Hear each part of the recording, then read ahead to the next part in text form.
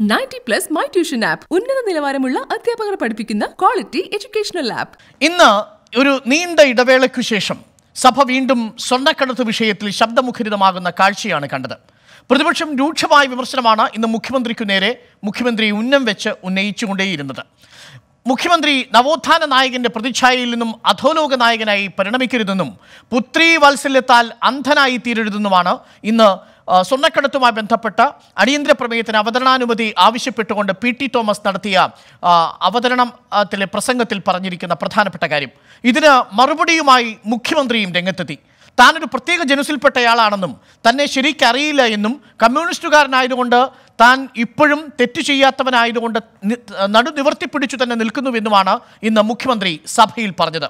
സഭയിൽ ആരോപണ പ്രത്യാരോപണങ്ങളുടെ ചൂടുണ്ടായിരുന്നു. അടുത്ത തിരഞ്ഞെടുപ്പിലും സ്വർണക്കടത്ത് വിഷയം പ്രധാനപ്പെട്ട വിമർശന വിഷയമായി പ്രതിപക്ഷം ഉന്നയിച്ചിരിക്കുന്നു എന്ന് തന്നെയാണ് ഈ സഭയിലെ ഇന്നത്തെ ഈ ആരോപണ പ്രത്യാരോപണങ്ങൾ സൂചിപ്പിക്കുന്നത്. നമ്മൾ അന്വേഷിക്കുന്നത് സ്വർണക്കടത്ത് ഇത്രയും ദിവസം പിന്നിടുമ്പോഴും പ്രതിപക്ഷം സ്വർണക്കടത്ത് വിഷയത്തിൽ നിന്ന് മാറുന്നില്ലേ? സ്വർണക്കടത്ത് വിഷയത്തിൽ തന്നെ രാഷ്ട്രീയ വിവാദങ്ങൾ കറങ്ങുകയാണോ എന്നാണ്. എല്ലാ പ്രേക്ഷകർക്കും ഈ ചർച്ചയിലേക്ക് സ്വാഗതം. കടത്തിൽ കറങ്ങുന്നു എന്നാണ് ന്യൂസ് ഈവനിംഗ് ചോദിക്കുന്നത്.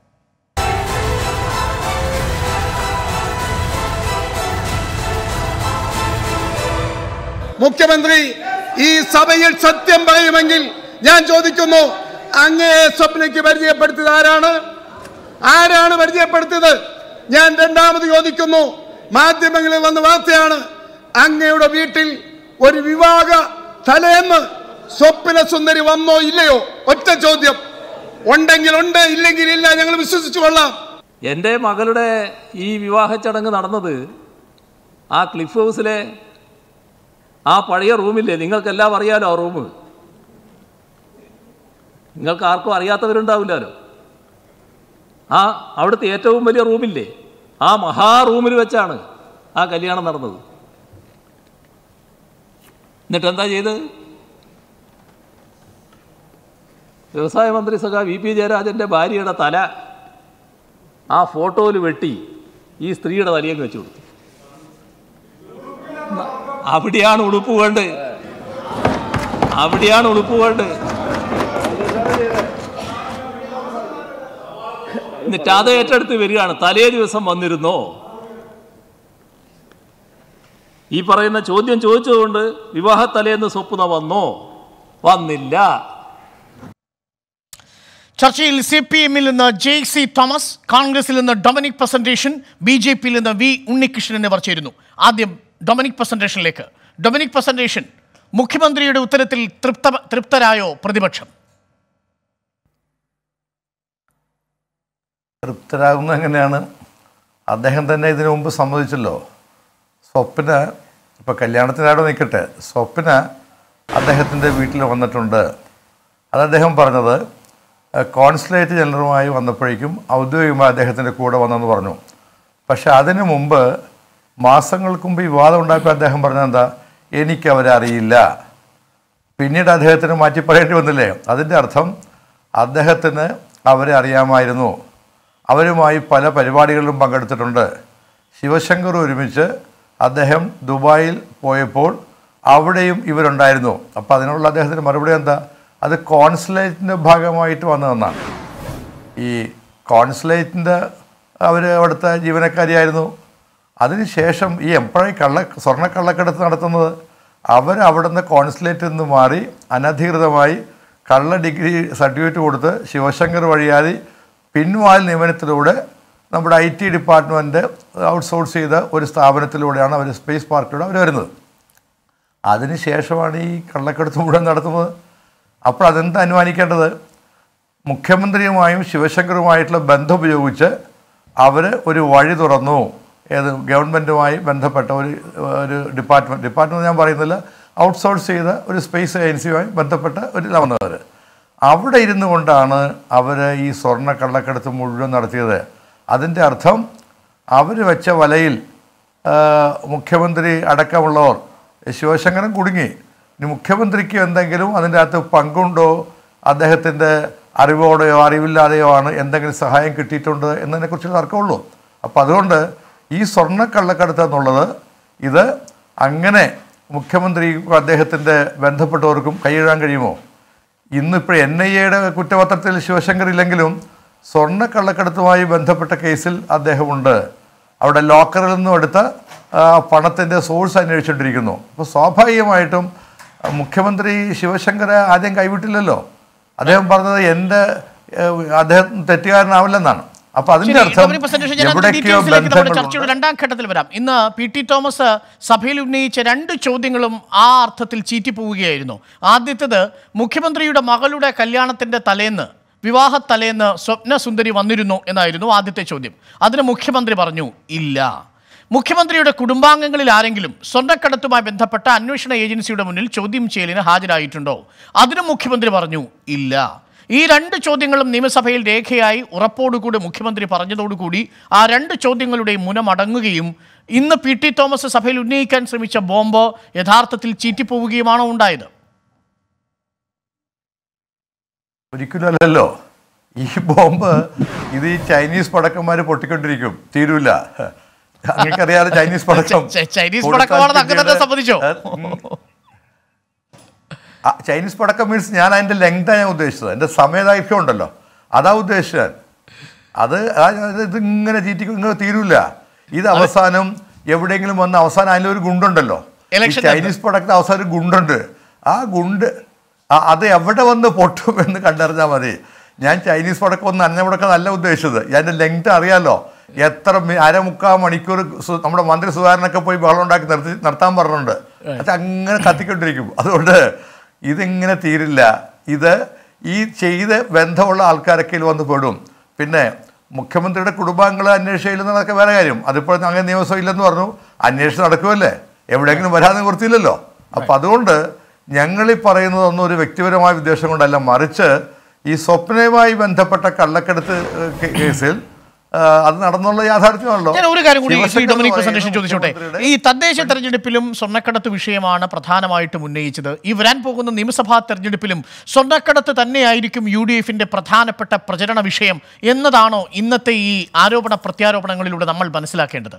സ്വർണക്കടത്ത് വിട്ട് ഈ തെരഞ്ഞെടുപ്പിനെ യു ഡി എഫ് നേരിടില്ല. സ്വർണക്കടത്തായിരിക്കും പ്രധാനപ്പെട്ടത്. ന്യായിക്കൊപ്പം. എന്ന് ഞങ്ങൾ പറഞ്ഞില്ലല്ലോ. സ്വർണക്ക് ഒത്തിരിയേറെ കാര്യങ്ങളുണ്ട്. ഒത്തിരിയേറെ കാര്യങ്ങളുണ്ട് സർക്കാരിന്റെ അതിൽ ഒന്ന് മാത്രമാണ് സ്വർണക്കടത്ത്.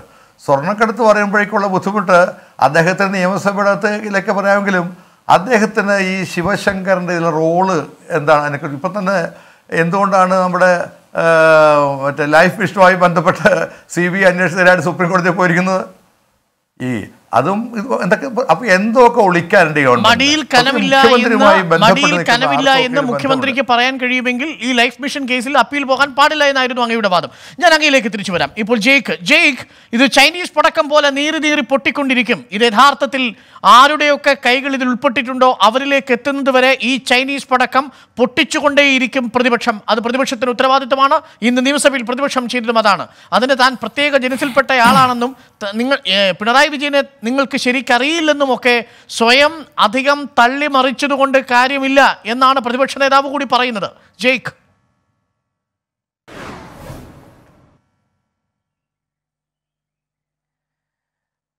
അതെ അതായത് ഇപ്പോൾ കോൺഗ്രസിന്റെ പ്രതിനിധിയായി ചർച്ചയിൽ പങ്കെടുക്കുന്ന Shri Dominic presentation.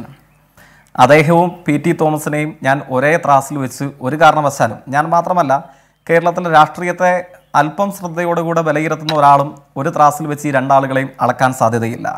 Shri Dominic presentation നാം അറിയുന്ന ശ്രീ ഡൊമിനിക് പ്രസന്റേഷൻ ഏത് ത്രാസിൽ വെച്ച് അളന്നാലും ശ്രീ പി ടി തോമസിനേക്കാൾ മാന്യതയിലും അതേപോലെ തന്നെ ബഹുമാനം അർഹിക്കുന്നതിലും പ്രധാനപ്പെട്ട മെച്ചപ്പെട്ട നില പുലർത്തുന്ന ഒരു കോൺഗ്രസ് നേതാവാണ്. അദ്ദേഹം വ്യക്തിപരമായി മുഖ്യമന്ത്രിയുടെ മകളുടെ വിവാഹ ചടങ്ങിൽ വീണ്ടും ഈ കേസിലെ ആരോപണ വിധേയയായ വനിത പങ്കെടുത്തു എന്ന പച്ചക്കള്ളം ഇത് കേൾക്കുന്നവർക്കും ഇത് പറയുന്നവർക്കും ഇതൊരു പച്ച നുണയാണെന്നറിയാം. നമ്മൾ വീണ്ടും എടുത്തു വെച്ചിട്ട് ചർച്ച ചെയ്യുകയാണ്. കാരണം എന്താണ്? വളരെ സബ്സ്റ്റാൻഡേർഡ് ആയിട്ടുള്ള ഈ വാദം വീണ്ടും എന്തെങ്കിലുമൊക്കെ ഒന്ന് പറയണ്ടേ എന്നതിന്റെ അടിസ്ഥാനത്തിൽ മാത്രം മുഖ്യമന്ത്രിക്ക് നേരെ എറണാകുളത്തെ കോൺഗ്രസിന്റെ ജനപ്രതിനിധി ഉന്നയിക്കുകയാണ്. ഞാൻ സത്യസന്ധമായി ശ്രീ ഡൊമിനിക് പ്രസന്റേഷനോട് ചോദിക്കുകയാണ്. അങ്ങ് കരുതുന്നുണ്ടോ? ഈ കാണിക്കുന്നത് ശരിയാണ് എന്ന്.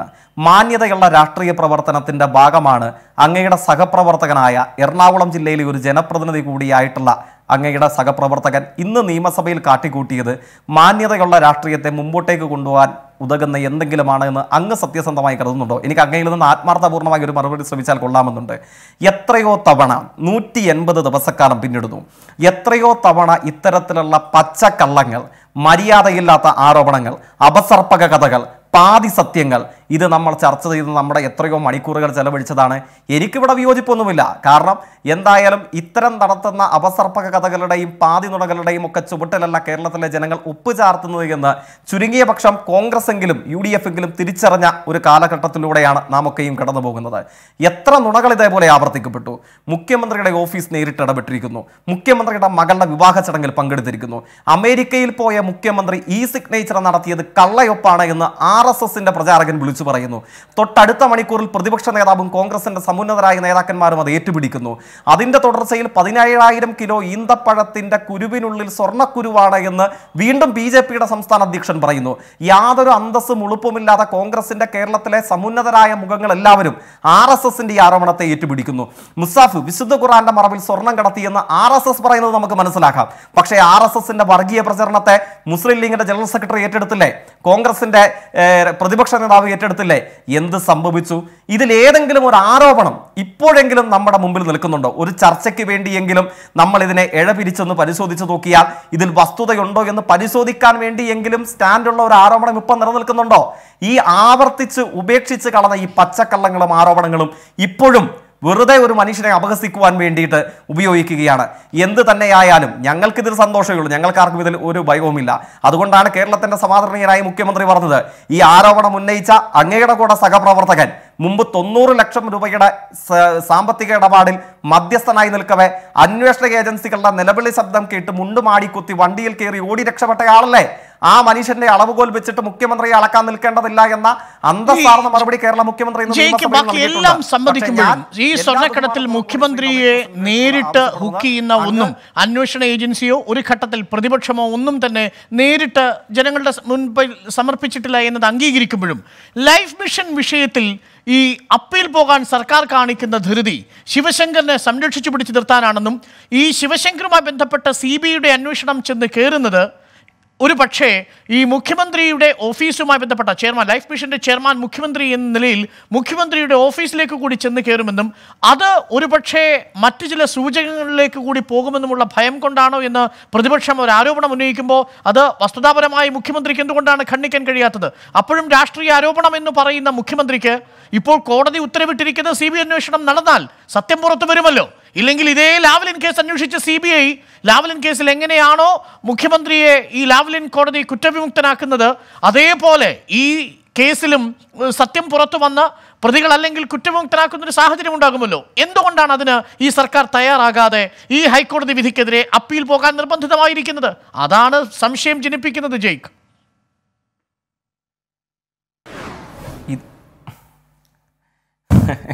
അപ്പോൾ ബാക്കി ആരോപണങ്ങളെ കുറിച്ചൊക്കെയുള്ള സംശയങ്ങളെങ്കിലും നിങ്ങൾ കിട്ടിയതിൽ എനിക്ക് സന്തോഷമുണ്ട്. എന്തായാലും ഇപ്പോൾ വന്നു വന്ന ഏറ്റവും ഒടുവിൽ ലൈഫിലേക്ക് മാത്രം നമ്മൾ കേന്ദ്രീകരിച്ചല്ലോ. സന്തോഷം. അതിനെ സംബന്ധിച്ചും ഞാനിപ്പോൾ ഖണ്ഡിതമായ ഒരു തീർപ്പ് കൽപ്പിലേക്കും നിങ്ങൾ വരണമെന്ന് ഞങ്ങൾ വാശി പിടിക്കുന്നില്ല. അന്വേഷണം നടക്കട്ടെ. സി ബി ഐയെ സംബന്ധിച്ച് പിന്നെ ഞങ്ങൾക്കൊരു നിലപാടുണ്ടായിരുന്നു. സംസ്ഥാന ഗവൺമെന്റിന്റെ ഒരു നിലപാടുണ്ടായിരുന്നു. ആ നിലപാട് എന്താണെന്ന് കേരളത്തിന്റെ പബ്ലിക് ഡൊമൈന് മുമ്പിൽ പല ആവർത്തി വിളിച്ചു പറഞ്ഞതും ചർച്ച ചെയ്തതും പരിശോധിക്കപ്പെട്ടതുമാണ്. അതായത് സി ബി ഐ ഈ തരത്തിൽ സംസ്ഥാന ഗവൺമെന്റിന്റെ അനുമതിയില്ലാതെ രാഷ്ട്രീയ താല്പര്യത്തോടുകൂടെ കേസുകൾ അന്വേഷിച്ചതിന്റെ നിരവധിയായിട്ടുള്ള പൂർവകാല ചരിത്ര ഉദാഹരണങ്ങൾ എന്റെയും നിങ്ങളുടെയും മുമ്പിലുണ്ട്. ഞാൻ ഇപ്പോൾ അതിന്റെ വിശദാംശത്തിലേക്ക് കടന്നു പോകണമെന്ന് ആഗ്രഹിക്കുന്നില്ല.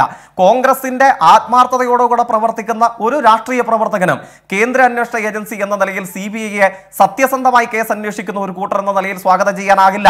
അതുകൊണ്ടാണ് സി ബി ഐയെ കേസ് പാറ്റ് എന്ന് വിശേഷിപ്പിച്ചത് ആരാണ് C P I politburo അല്ലല്ലോ. അങ്ങ് ഇപ്പോൾ ചൂണ്ടിക്കാണിച്ച അങ്ങ് ഈ മുഖ്യമന്ത്രിക്ക് ലാവനിൽ ക്ലീൻ ചിറ്റ് കൊടുത്തു എന്നിപ്പോൾ അങ്ങ് ചൂണ്ടിക്കാണിച്ച ഇതേ സി ബി ഐയെ സംബന്ധിച്ച് ക്ലേ കേസ്ഡ് പാരറ്റ് എന്ന് വിളിച്ചു പറഞ്ഞത് സുപ്രീം കോടതി ചീഫ് ജസ്റ്റിസ് ആയിരുന്നു. അതേപോലെ തന്നെ സുപ്രീം കോടതിയുടെ സമാദരണീയനായ മറ്റൊരു ജഡ്ജിയുടെ പരാമർശം എന്തായിരുന്നു? ഈ കേന്ദ്ര അന്വേഷണ ഏജൻസിയുടെ പോക്ക് ഇങ്ങനെയാണെങ്കിൽ even God can save India എന്നുള്ളതായിരുന്നു. ദൈവത്തിന് പോലും ഇന്ത്യയെ രക്ഷിക്കാൻ കഴിയില്ല എന്നൊരു വേള അൽത്തമാസ് കബീർ അദ്ദേഹത്തിന്റെ പ്രസിദ്ധമായ ഒരു പരാമർശം ഞാനും അങ്ങേയും ഓർമ്മിക്കുന്നില്ലേ? ഈ കോൺഗ്രസിന്റെ തന്നെ സമാദരണീയരായ ദേശീയ നേതൃത്വം നടത്തിയിട്ടുള്ള പ്രതികരണം എന്തായിരുന്നു? കോൺഗ്രസിന്റെ വയനാട് പാർലമെന്റ് അംഗം എ മുൻ അധ്യക്ഷൻ വയനാട് ജില്ലയിൽ വന്ന് മാസങ്ങൾക്ക് മുമ്പ് ഈ കൂട്ടർ കാണിക്കുന്ന വൃത്തികേടുകളെ കുറിച്ച് വാർത്താ സമ്മേളനം നടത്തിയപ്പോൾ എന്താ പ്രതിപക്ഷ നേതാവ് പറഞ്ഞത്? എ ഐ സി സി അധ്യക്ഷനൊക്കെ ആയിരിക്കും പക്ഷെ കേരളത്തിലെ കാര്യം നോക്കാൻ ഞങ്ങളുണ്ട്. കേന്ദ്ര അന്വേഷണ ഏജൻസിയെ ഇവിടെ വന്ന് വെല്ലുവിളിക്കാൻ നിൽക്കരുത് എന്ന് ഭീഷണിപ്പെടുത്തി തിരികെ വിട്ടത് നമ്മൾ കണ്ടില്ലേ? അപ്പോൾ സി ബി ഐയെ സംബന്ധിച്ച് ഞങ്ങൾക്ക് ഖണ്ഡിതമായി വ്യത്യസ്ത അഭിപ്രായമുണ്ട്. ആ അഭിപ്രായത്തിന്റെ അടിസ്ഥാനത്തിലാണ് ഹൈക്കോടതിയിൽ ഹർജി സമർപ്പിച്ചത്. എഫ് സി ആർ ഐയുടെ പരിധിയിൽ ലൈഫ് നിലനിൽക്കില്ല എന്ന സുചിന്തിതമായ അഭിപ്രായം സംസ്ഥാന ഗവൺമെന്റിനുള്ള അതിന്റെ അടിസ്ഥാനത്തിലാണ് കോടതിയെ സമീപിച്ചത്. ഇപ്പം മറിച്ചൊരു പരാമർശം ഒരു തീരുമാനം കോടതിയുടെ ഭാഗത്തുനിന്നുണ്ടായിരിക്കുന്നു. ആ നിയമ നടപടികളും ഈ അന്വേഷണവും ഒരേ വേഗത്തിൽ മുമ്പോട്ടേക്ക് പോകട്ടെ. ഇവിടെ ആർക്കും ഒരു പ്രയാസവുമില്ല. റൈറ്റ് ജയിക്ക് ഞാൻ തിരിച്ചു വരാം. വി ഉണ്ണികൃഷ്ണൻ ഇന്ന് നിയമസഭയിൽ നമ്മൾ കണ്ടത് സർ- സർക്കാരിന് പ്രത്യേകിച്ച് മുഖ്യമന്ത്രിയെ ഉന്നം വെച്ചുള്ള പി ടി തോമസിന്റെ ആരോപണങ്ങൾക്ക് മുഖ്യമന്ത്രി എണ്ണി എണ്ണി മറുപടി പറയുന്നതാണ്. ഈ സ്വർണക്കടത്തുമായി ബന്ധപ്പെട്ട മുഖ്യമന്ത്രി ഇന്ന് സഭയിൽ ചോദിച്ച ചോദ്യം അന്വേഷണ വിധ അന്വേഷണത്തിന് വേണ്ടി കേന്ദ്ര ഏജൻസികളെ കഴിഞ്ഞ ജൂലൈ മാസം എട്ടാം തീയതി മുഖ്യമന്ത്രി ക്ഷണിച്ചു വരുത്തുമ്പോൾ ഈ സ്വർണം എവിടെ നിന്ന് വന്നു? ആരിലേക്ക് പോയി? ഈ രണ്ട് ചോദ്യങ്ങൾക്ക് ഉത്തരം കണ്ടെത്താനാണ് അന്വേഷണ ഏജൻസികളെ വിളിച്ചത്. ഈ രണ്ട് ചോദ്യമൊഴികെ ബാക്കിയെല്ലാം അന്വേഷണ ഏജൻസി കണ്ടെത്താൻ ശ്രമിക്കുന്നു. എവിടെ നിന്നാണ് അയച്ചത്? ആർക്ക് വേണ്ടിയാണ് കൊണ്ടുപോയത്? ഈ രണ്ട് ചോദ്യങ്ങളുടെയും ഉത്തരം അന്വേഷണ ഏജൻസികൾക്ക് സമർപ്പിക്കാൻ കഴിയുന്നില്ല. എൻ ഐ പോലും ഒരു ഘട്ടത്തിൽ ഈ പുറത്തു നിന്നുള്ളവരെ തിരികെ കൊണ്ടുവരാൻ കഴിയാഞ്ഞത് ഈ അന്വേഷണത്തിന് തിരിച്ചടിയായെന്ന് പറയുന്നു. അപ്പോൾ ഈ മുഖ്യമന്ത്രിയെയും മുഖ്യമന്ത്രിയുമായി ബന്ധപ്പെട്ട ഓഫീസിനെയും സ്വർണക്കടത്തിന്റെ പരിധിയിൽ നിർത്തുന്നത് എങ്ങനെയാണ് സാധ്യമാവുക? എൻ പോലും ഈ സ്വർണക്കടത്ത് കേസിൽ ശിവശങ്കർ ഉൾപ്പെട്ടിട്ടുണ്ട് എന്ന് ഉറപ്പിച്ചു പറയാൻ കഴിയുന്നില്ല പ്രതി ചേർക്കുന്നില്ല. അതുകൊണ്ട് ഈ സ്വർണക്കടത്തുമായി ബന്ധപ്പെട്ട വിവാദം നമ്മൾ അവസാനിപ്പിക്കാൻ സമയമായിട്ടുണ്ടോ ഉണ്ണികൃഷ്ണൻ? സ്വർണക്കള്ളക്കടത്തുമായി ബന്ധപ്പെട്ട വിവാദം അവസാനിപ്പിക്കാൻ ഒരിക്കലും സമയമായിട്ടില്ല. കാരണം സ്വർണക്കള്ളക്കടത്ത് ഒരു യാഥാർത്ഥ്യമായി ഇപ്പോഴും നിലനിൽക്കുന്നു എന്നുള്ളതാണ്. നിയമസഭയിൽ പി ടി തോമസ് ചോദിച്ച ചോദ്യത്തിന് മുഖ്യമന്ത്രിയുടെ മറുപടി ആ മറുപടി നിയമസഭയുമായി ബന്ധപ്പെട്ട കാര്യങ്ങളാണ്. ഇപ്പൊ നേരത്തെ പല വാക്കുകളെ കുറിച്ച് പരാമർശങ്ങൾ പറഞ്ഞു. ഞങ്ങളെ സംബന്ധിച്ചോളം ഇത് രണ്ടും ഒരേ തൂവൽ പക്ഷികളാണ്. സരിത സുന്ദരിയെ കുറിച്ച് കഴിഞ്ഞ മന്ത്രിസഭയിൽ ചർച്ച ചെയ്തിരുന്നെങ്കിൽ ഇപ്പൊ സ്വപ്നസുന്ദരിയെ കുറിച്ച് ചർച്ച ചെയ്തു എന്ന വ്യത്യാസം മാത്രമേ ഉള്ളൂ. സ്വർണക്കള്ളക്കടത്തുമായി ബന്ധപ്പെട്ട വിഷയത്തിൽ ജൂലൈ അഞ്ചാം തീയതി ഈ സ്വർണക്കള്ളക്കടത്ത് പിടിക്കപ്പെട്ടപ്പോൾ ഏത് അന്വേഷണവും നേരിടാൻ ഞങ്ങൾ തയ്യാറാണ്. കേന്ദ്രത്തിന്റെ ഏത് അന്വേഷണവും വരട്ടെ എന്ന് പ്രധാനമന്ത്രിക്ക് കത്തയച്ച് അന്വേഷണ ഏജൻസിയെ വിളിച്ചു വരുത്തിയത് മുഖ്യമന്ത്രിയാണ്. ആ ആ അന്വേഷണത്തിന്റെ പശ്ചാത്തലത്തിലാണ് മുഖ്യമന്ത്രിയുടെ ഓഫീസ് കേന്ദ്രീകരിച്ച് കള്ളക്കടത്ത് നടന്നുവെന്നും അതിൽ മുഖ്യമന്ത്രിയുടെ പ്രിൻസിപ്പൽ സെക്രട്ടറി ശിവശങ്കറിന് പങ്കുണ്ടെന്നും ആ പങ്കുണ്ടെന്ന് കണ്ടതിന്റെ അടിസ്ഥാനത്തിലാണ് സർക്കാർ ശിവശങ്കരനെ സസ്പെൻഡ് ചെയ്യുകയും അന്വേഷണ ഏജൻസികൾ അദ്ദേഹത്തെ അറസ്റ്റ് ചെയ്യുകയും ഉണ്ണികൃഷ്ണൻ അതിൽ മുഖ്യമന്ത്രിയുടെ ഓഫീസ് കേന്ദ്രീകരിച്ച് സ്വർണക്കടത്ത് നടത്തിയിട്ടുണ്ട് എന്ന് സംസ്ഥാനത്ത് അന്വേഷണ സംഘം അല്ലെങ്കിൽ പ്രത്യേക അന്വേഷണ സംഘം കണ്ടെത്തിയിട്ടല്ല ശിവശങ്കറിനെ സസ്പെൻഡ് ചെയ്തത്. ശിവശങ്കറിന് അരുതാത്ത ചില ബന്ധങ്ങൾ ഉണ്ടായി ഈ പ്രതികളുമായി ബന്ധമുണ്ടായിരുന്നു എന്ന് കണ്ടെത്തിയതിനെ തുടർന്നാണ്. സ്വർണക്കടത്ത് മുഖ്യമന്ത്രിയുടെ ഓഫീസ് കേന്ദ്രീകരിച്ച് നടത്തിയെന്ന് ഒരു അന്വേഷണ ഏജൻസിയും കണ്ടെത്തിയിട്ടില്ല. ഞാൻ പറയട്ടെ വേണ്ട. വേണ്ട. മുഖ്യമന്ത്രിയുടെ ഓഫീസ് കേന്ദ്രീകരിച്ച്. മുഖ്യമന്ത്രിയുടെ ഓഫീസിൽ നിന്നുമുള്ള മുഖ്യമന്ത്രിയുടെ മനസാക്ഷി സൂക്ഷിപ്പുകാരനായിട്ട് പ്രിൻസിപ്പൽ സെക്രട്ടറിയുടെ നേതൃത്വത്തിൽ ഈ സ്വർണക്കള്ളക്കടത്തിന് സഹായം ചെയ്തിരിക്കുന്നത് യാഥാർത്ഥ്യം എല്ലാവർക്കും അറിയാം. അദ്ദേഹത്തിന് അരുതാത്തതായ കൂട്ടുകൾ ഇട്ടുണ്ടെന്ന് അറിയാം അതിന്റെ പശ്ചാത്തലത്തിലാണ് അദ്ദേഹത്തെ സസ്പെൻഡ് ചെയ്തിട്ടുള്ളത്.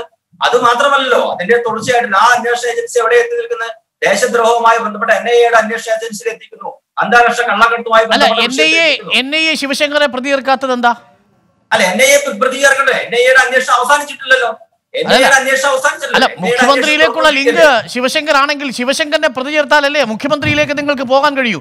സ്വപ്ന സുരേഷും ബി ജെ പിയിലെ ഒരു നേതാവിനോടൊപ്പം സഹയാത്രികനായി നിന്ന സന്ദീപ് നായരെയും സരിത്തിനെയും റമീസിനെയും പിടിച്ചകത്തിട്ടാൽ മുഖ്യമന്ത്രിക്ക് നേരെ നിങ്ങൾക്ക് എങ്ങനെ വിരൽ ചൂണ്ടാൻ പറ്റും? അതിന് ശിവശങ്കറിനെ പ്രതി ചേർക്കണ്ടേ? ശിവശങ്കറിനെ പ്രതി ചേർത്തിട്ടില്ലല്ലോ ഉണ്ണികൃഷ്ണൻ. അതല്ലേ പ്രശ്നം? ശിവശങ്കറിനെ പ്രതി ചേർക്കണ്ട. ശിവശങ്കറിനെ പ്രതി ചേർക്കാനുള്ള സമയം ഇനി ആയിട്ടില്ല. അദ്ദേഹം ജയിലിനകത്ത് തന്നെയാണ്. അദ്ദേഹം ജയിലിൽ പുറത്തൊന്നുമല്ല. നിങ്ങൾ പറയുന്നത് കേട്ടാലും അദ്ദേഹത്തെ സംശുദ്ധനായി പ്രഖ്യാപിച്ച് അദ്ദേഹത്തെ കഴിഞ്ഞു. അല്ലല്ല അദ്ദേഹം അനധികൃതമായ സ്വത്ത് സമ്പാദനത്തിന്റെ കേസിലും കള്ളപ്പണം വെളുപ്പിക്കലിന്റെ കേസിലുമാണ് അദ്ദേഹത്തെ ഇപ്പോൾ ഇ ഡി കസ്റ്റംസും എടുത്തിരിക്കുന്നത്. ശരിയാണ്. അത് എങ്ങനെ വന്നു എന്നുള്ളതിനെ കുറിച്ച് കാണാതിരിക്കുന്നല്ലോ ആ വരവ് സ്വത്ത് സംബന്ധിച്ച് എങ്ങനെ വന്നു എന്നുള്ളതിനെ കുറിച്ച് വഴി അന്വേഷണം നടക്കാൻ പോകുന്നുള്ളൂ. തെളിവ് വരാൻ പോകുന്നുള്ളൂ. അത് മാത്രമല്ലോ അതുമായി ബന്ധപ്പെട്ട കേസിലെ ലൈഫ് മിഷൻ കേസ് ഉണ്ടായത്?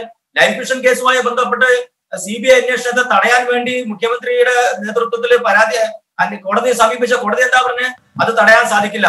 ഇനിയിപ്പോ എന്തിനു വേണ്ടിയാ?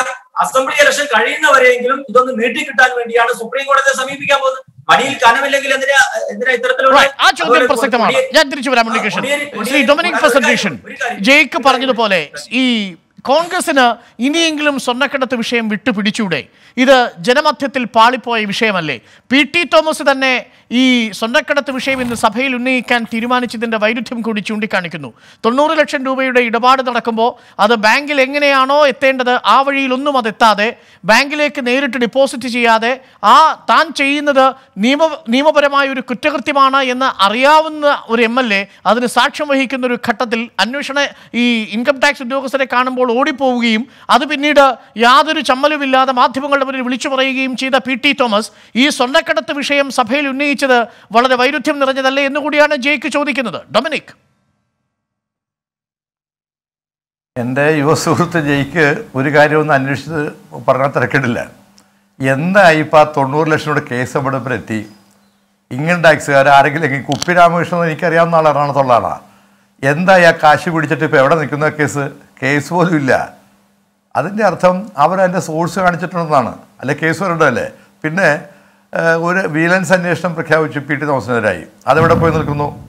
അപ്പം ഞാൻ പറയുന്നത് മുഖ്യമന്ത്രിയെ പോലെ ഒരു സമുന്നത നേതാവ് ഒരു ഭരണാധികാരി ഇന്ന് അദ്ദേഹമാണ് ഇന്ന് അദ്ദേഹത്തിന്റെ ഒരു സ്റ്റാൻഡേർഡ് താഴ്ന്നു വന്നത്.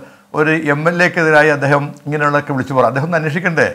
എവിടെ എത്തി? തൊണ്ണൂറ് ലക്ഷം രൂപയുടെ എനിക്കൊന്ന് അരുണൊന്ന് അന്വേഷിക്കുക എവിടെ എത്തിയ കേസ്? അങ്ങ് എറണാകുളത്തുള്ള ആളാണോ ഒന്ന് അന്വേഷിക്കുക അപ്പോൾ അതുകൊണ്ട് ആ കേസ് ഒന്നുമല്ല അത് ഒരു പഴയ ഒരു കമ്മ്യൂണിസ്റ്റ് കുടുംബത്തിന്റെ തീരാത്ത കമ്മ്യൂണിസ്റ്റ് ഞാൻ ഡീറ്റെയിൽസിലേക്ക് പോകുന്നില്ല. കെ എൻ രവീന്ദ്രൻ അതിന്റെ സഹോദരിയുടെ ഭൂമിയായിരുന്നു അതൊക്കെ പോട്ടെ. അത് ഇത്രയും കൊല്ലമായിട്ട് എന്റെ പട്ടയം ആര കുടിയെടുപ്പിന്റെ കേസായിരുന്നു അത്. അത് വാങ്ങിച്ചു കൊടുക്കാൻ ഒരു ഗവൺമെന്റും കഴിഞ്ഞില്ല. അവിടെയാണ് പി. ടി. തോമസ് ഇടപെട്ട് അവർക്ക് പണം കിട്ടി തർക്കത്തിലേക്കൊക്കെ വന്നു.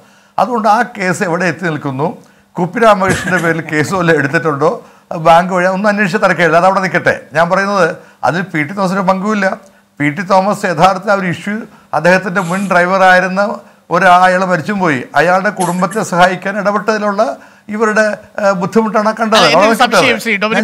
നമ്മൾ ഈ ചർച്ച കാണുന്ന പ്രേക്ഷകർക്ക് സംശയം മാറ്റാൻ വേണ്ടി പി ടി തോമസിനെതിരെ ഇപ്പോൾ ഒരു എഫ് ഐ ആർ ഇട്ടിട്ടില്ല. ഞാൻ മനസ്സിലാക്കുന്ന പ്രകാരം ഒരു കേസ് പി ടി തോമസിനെതിരെ ഇൻകം ടാക്സ് ഡിപ്പാർട്ട്മെന്റിനും ഇല്ല അത് കള്ളപ്പണമാണോ എന്ന കാര്യത്തിൽ ഇൻകം ടാക്സ് അന്വേഷണം നടക്കുന്നു. അത് പി ടി തോമസിന് ബാധകവുമല്ല. എന്റെ സംശയം അതല്ല. ഈ ഇൻകം ടാക്സ് ഉദ്യോഗസ്ഥർ വരുന്ന സമയത്ത് പി ടി തോമസ് അവിടെ നിന്ന് ഓടിപ്പോയത് എന്തിനാണ് എന്ന ചോദ്യത്തിന് ഇനിയും കൃത്യമായ ഒരു ഉത്തരം കിട്ടിയിട്ടില്ല. അഥവാ പി ടി തോമസിന് ഇൻകം ടാക്സ് ഉദ്യോഗസ്ഥരുടെ മുമ്പിൽ പോയി കാര്യങ്ങൾ വിശദീകരിക്കാമായിരുന്നില്ലേ? അദ്ദേഹം അവിടെ നിന്ന് മാറിയത് എന്തിനാണ്? അപ്പോൾ പി ടി തോമസ് അവിടെ നിന്ന് മാറുന്നത് പോലെ ഒരു ഒരു ഏതെങ്കിലും തരത്തിലുള്ള കവറപ്പ് മുഖ്യമന്ത്രിയുടെ ഓഫീസിലെ ആരെങ്കിലും നടത്തിയിട്ടുണ്ടെങ്കിൽ അതിനെ തുല്യം ചെയ്യുന്ന അവസ്ഥയിലേക്ക് എത്തും. പക്ഷേ ഇവിടെ അങ്ങനെയുമല്ല. മുഖ്യമന്ത്രിയെയോ പ്രിൻസിപ്പൽ സെക്രട്ടറിയെയോ സ്വർണക്കടത്തുമായി ബന്ധപ്പെടുത്തി നേരിട്ട് എഫ് ആർ ഇട്ടിട്ടില്ല. സ്വർണക്കടത്തുമായി എങ്ങനെയാണോ പി ടി തോമസിന് ഇടാത്തത് അതുപോലെയാണ് ശിവശങ്കറിന്റെയും കാര്യത്തിൽ. മറ്റത് കള്ളപ്പണം വെളുപ്പിക്കലാണ്. അത് അദ്ദേഹം സ്വാഭാവികമായും ഒരു സാമ്പത്തിക കുറ്റകൃത്യത്തിന്റെ ഫലം അദ്ദേഹം അനുഭവിക്കണം. അതാണ് എന്റെ സംശയം. പിന്നെ എങ്ങനെയാണ് ഈ മുഖ്യമന്ത്രിയെ ആവർത്തിച്ച് ഇതിലേക്ക് കൊണ്ടുവരുന്നത്? പി ടി തോമസിന്റെ കാര്യത്തിൽ പി ടി തോമസിന് ലഭിക്കുന്ന ആനുകൂല്യം എന്തുകൊണ്ട് മുഖ്യമന്ത്രി പിണറായി വിജയന് ലഭിക്കുന്നില്ല? Shri Dominic presentation. P T Thomas എന്ത് ആനുകൂല്യം കൊടുത്തത്? ഒരു ആനുകൂല്യം കൊടുത്തില്ല. അദ്ദേഹം ഓടിപ്പോയെന്നൊക്കെ പറഞ്ഞാൽ ആലങ്കാരിക ഭാഷയെ പറയുന്നതല്ലേ?